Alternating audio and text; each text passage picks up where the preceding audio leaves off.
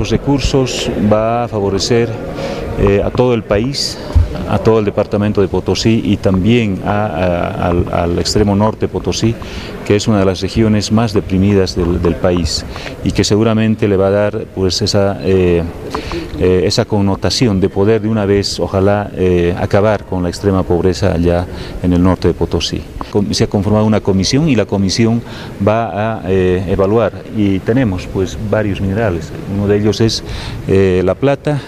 más o menos 300, inicialmente hay más de 300 millones de onzas troy en, eh, eh, en, todo, esa, eh, en el cerro de Malcubot. Después tenemos 1.800 toneladas de indio,